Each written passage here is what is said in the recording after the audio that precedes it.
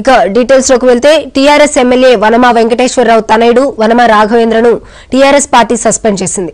CM KCR ఆదేశాల మేరకు వనమాను సస్పెండ్ చేస్తున్నట్లు పార్టీ ప్రధాన కార్యదర్శి ఎమ్మెల్సీ పల్లా రాజేశ్వరరెడ్డి పార్టీ ఖమ్మం వ్యవహారాల ఇన్ఛార్జ్ నూకల నరేష్ రెడ్డి ప్రకటించారు. తక్షణమే సస్పెన్షన్ అమల్లోకి వస్తుందని ఈ మేరకు టీఆర్ఎస్ అధిష్టానం ఆదేశాలు జారీ చేసింది. కేంద్రంలో ఉన్నటువంటి బీజేపీ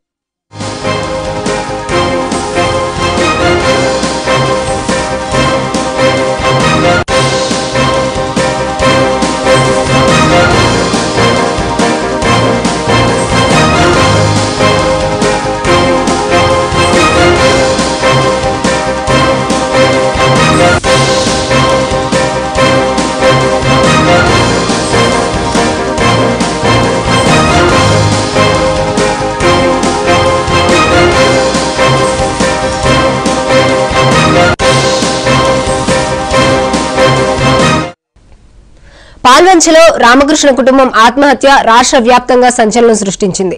అందులో టీఆర్ఎస్ ఎమ్మెల్యే వనమ వెంకటేశ్వరరావు తనేడు వనమ రాఘవ ప్రమేయం ఉందని ఆయన పెట్టిన ఇబ్బందుల వల్లే తాను ఆత్మహత్య చేసుకుంటున్నట్లు స్వయంగా మృతుడు రామకృష్ణ తీసిన సెల్ఫీ వీడియో బయటకు రావడం పేను దుమారం రేపింది.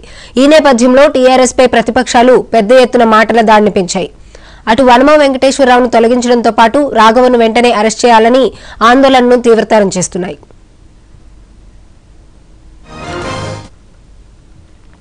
ఈ ఘటనపై ఐదు రోజుల తర్వాత టీఆర్ఎస్ పార్టీ స్పందించింది. రాఘవ్పై చర్యలకు టీఆర్ఎస్ పార్టీ ఉపక్రమించింది. ఈ ఘటనను సీరియస్గా తీసుకున్న పార్టీ అధిష్టానం రాఘవను పార్టీ నుంచి సస్పెండ్ చేస్తున్నట్లుగా అధికారికంగా ప్రకటనను విడుదల చేసింది. ఇదిలా ఉంటే రామకృష్ణ కుటుంబం ఆత్మహత్య చేసుకుని వారం రోజులు గడుస్తున్నా రాఘవను పోలీసులు ఇంతవరకు అరెస్ట్ చేయలేదు. ఈ అంశంపైన పూర్తి సమాచారాన్ని మా ప్రతినిధి రామకృష్ణ లైవ్ ద్వారా అందిస్తారు. రామకృష్ణ చెప్పండి.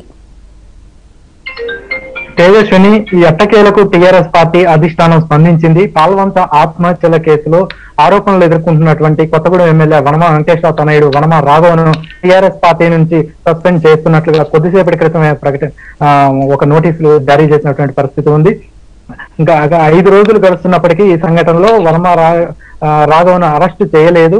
పనమా రాఘవను తక్షణం అరెస్ట్ చేయాలి రౌడీ షీట్ ఓపెన్ చేయాలి గతంలో ఉన్నటువంటి కేసులన్నింటి మీద కూడా విచారణ జరపాలి అంటూ ఈ రోజు ప్రతిపక్షాల ఆధ్వర్యంలో కొత్తగూడెం నియోజకవర్గ బంధుకు పిలుపునిచ్చారు. తెల్లవారుజాము నుంచే ఇవాళ ప్రతిపక్ష నాయకులందరినీ కూడా అరెస్ట్ చేసినటువంటి పరిస్థితి ఉంది. మనతో ఇప్పుడు కాంగ్రెస్ నాయకులు ఎడవల్లి కృష్ణ ఉన్నారు. వారితో మాట్లాడదాం. సార్ చెప్పండి. కొద్దిసేపటి క్రితమే వనమ రాఘవను టీఆర్ఎస్ పార్టీ నుంచి సస్పెండ్ చేసినట్లుగా అధిష్టానం ప్రకటించింది. టిఆర్ఎస్ పార్టీ నుంచి వనమాన్ని సస్పెండ్ చేయడం అనేది పెద్ద ఇష్యూ కాదు. టిఆర్ఎస్ పార్టీలో రాఘవకి ఏం పోస్తుంది సభ్యత్వం ఉందో లేదో నాకు తెలియదు ఆ కాంగ్రెస్ సభ్యత్వం ఉండి ఉంటది. అది పెద్ద ఇష్యూ కాదు దాన్ని ఏదో సస్పెండ్ చేసిన కాదు. వనమా వెంకటేశ్వరరావుని సస్పెండ్ చేయాలి. అప్పుడు కరెక్ట్. అది. పార్టీ నుంచి వనమా వెంకటేశ్వరరావు సస్పెండ్ చేస్తే నిజంగా ఈ ప్రభుత్వం మీద నమ్మకం ఉంటుంది. అంతేగాని రాఘవని సస్పెండ్ చేసినట్టు రాఘవ అసలు ఏం పోస్తుంది నాకు చెప్పమనం టీఆర్ఎస్ ఏం పోస్తుంది రాఘవకి? సభ్యత్వం కూడా ఉందో లేదో అని నాకు డౌట్ అది ఉట్టిదే అది డైవర్ట్ డైవర్ట్ ది పబ్లిక్ నిన్న మృతుడు సెల్ఫీ వీడియో లభ్యమైంది. అందులో చాలా దిగ్భ్రాంతికరమైనటువంటి విషయాలు రాఘవ గురించి ఆయన చెప్పినటువంటి పరిస్థితి ఉంది. ఏకంగా భార్యను పంపిస్తే తప్ప నీ పని కాదు. ఎక్కడికి వెళ్ళినా కూడా నీకు పని కాదు అని చెప్పి రాఘవ చెప్పినటువంటి. ఇది హృదయ విదారకమైన విషయము. సభ్య సమాజం సిగ్గుతో తల వంచుకునేటువంటి విషయం.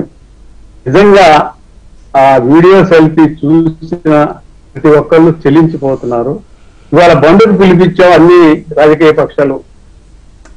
బంధు స్వచ్ఛందంగా జరిగింది. పాల్వంతా కొత్తగా ఉంది. మమ్మల్ని అరెస్ట్ చేశారు.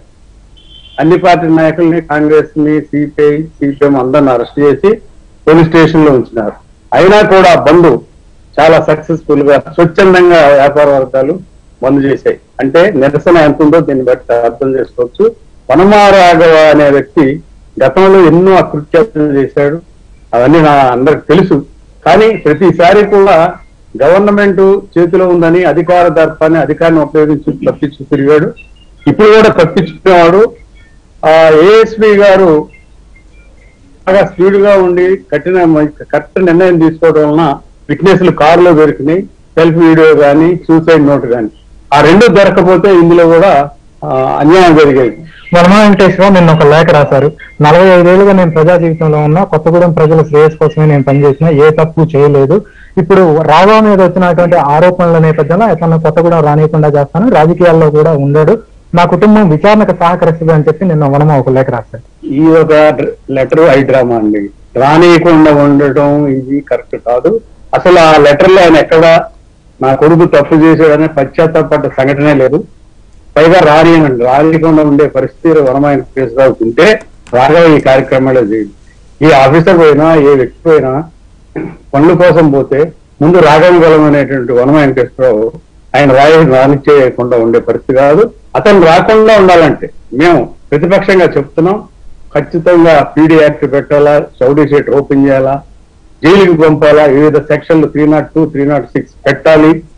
అతన్ని సంఘ బహిష్కరణ చేసి చేసి ఇక్కడ బహిష్కరణ నగర బహిష్కరణ చేస్తే రాకుండా ఉంటాడు ఈ ఒక్క కేసే కాదు గతంలో కూడా ఏడు కేసులు రాఘవ మీద నమోదయ్యాయి. ఒక్క కేసులో కూడా ఛార్జ్ షీట్ కావడం కానీ రిమాండ్కి తరలించడం కానీ జరగలేదు. దీని వెనక ఏమై ఉంటుందంటారు? అదే చెప్తున్నా ప్రతిసారి అధికారాన్ని ఉపయోగించుకొని అడ్డు పెట్టుకొని తప్పించి తిరిగాడు. ఏదైనా ఎవరికైనా ఒక రోజు వస్తుంది అది ఈ రోజు వచ్చింది. ఖచ్చితంగా డిమాండ్ చేస్తున్నాం. ఇమీడియట్గా పోలీస్ డిపార్ట్మెంట్ అతన్ని అరెస్ట్ చేయాలా? నైతిక బాధ్యత వహించి వనమా వెంకటేశ్వరరావు ఎమ్మెల్యే పదవి రామాజేయాల అదర్వైజ్ టిఆర్ఎస్ పార్టీ అతన్ని పార్టీని సస్పెండ్ చేయాలా. అతను చేయాలి కానీ రాఘవన్ సస్పెండ్ చేసిన ఉపయోగం లేదు.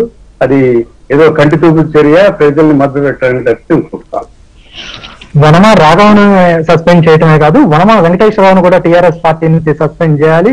వనమ వెంకటేశ్వరరావు నైతిక బాధ్యత వహిస్తూ ఎమ్మెల్యే పదవికి రాజీనామా చేయాలి. అదేవిధంగా వనమ రాఘవని ప్రస్తుత కేసులో కాకుండా గతంలో ఏడు కేసులు నమోదయ్యాయి. వాటిలన్నింటిలో నిష్పక్షపాతంగా విచారణ జరపాలి. వనమ రాఘవపై రౌడీ షీట్ ఓపెన్ చేయాలి. తక్షణమే అతన్ని అరెస్ట్ చేయాలంటూ కూడా కాంగ్రెస్ నాయకులు డిమాండ్ చేసినటువంటి పరిస్థితి ఉంది. లేకపోతే ఖచ్చితంగా ఉద్యమాలను ఉద్ధృతం చేస్తామని చెప్పి కూడా వాళ్ళు హెచ్చరిస్తున్నటువంటి పరిస్థితి ఉంది. Tejaswi right thank you Ramakrishna